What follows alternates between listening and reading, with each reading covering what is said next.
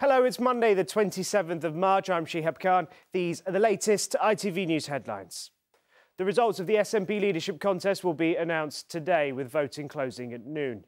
Yesterday was the last day of campaigning for the three candidates hoping to become the next SNP leader. Scottish Health Secretary Humza Yousaf is the bookie's favourite to replace Nicola Sturgeon.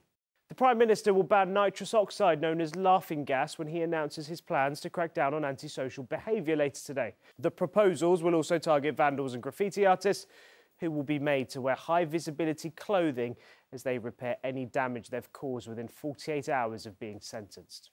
A major incident was declared in Dorset after 200 barrels of reservoir fluid, including oil, leaked into the water at Poole Harbour. Perenco, the company which operates the pipeline, said an investigation is underway and has urged people not to swim in the area until further notice. Parts of the US are bracing for more severe weather following the tornadoes which killed 26 people. Hundreds were left homeless after the disaster struck the states of Mississippi and Alabama. The search and rescue efforts continue. One local governor said there are still significant risks.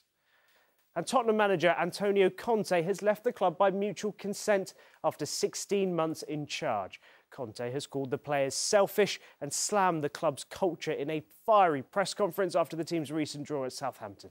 His assistant will step in until the end of the season.